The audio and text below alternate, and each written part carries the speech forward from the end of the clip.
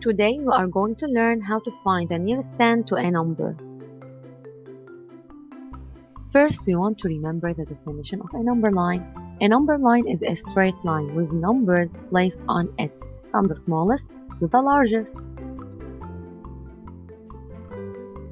We put small dashes to indicate the place of the numbers, but since we don't have enough space to write all the numbers, we will only write the main numbers. For example, here we have the number line graduated 1 by 1, here is the number line graduated 10 by 10, and here is the number line graduated 100 by 100. If we want to place the number 24 on the number line, we can use the number line graduated 10 by 10 or the one that is graduated 1 by 1. We know that 24 is between 20 and 30, so we should find the number 20, then count. 21, 22, 23, 24. So we have found the position of the number 24.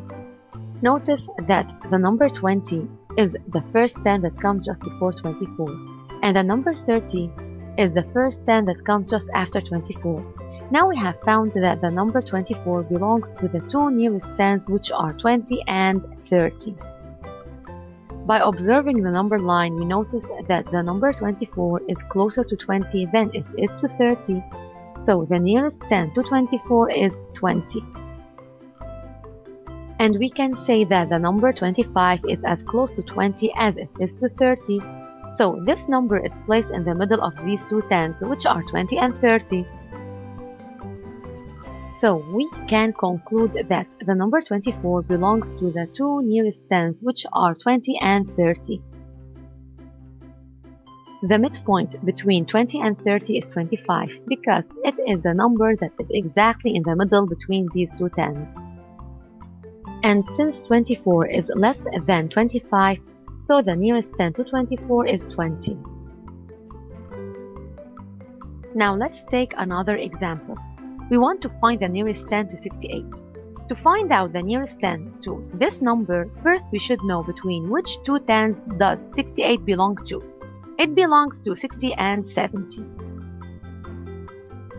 Then we should find the midpoint between these two tens which is as close to 60 as it is to 70, so it is 65.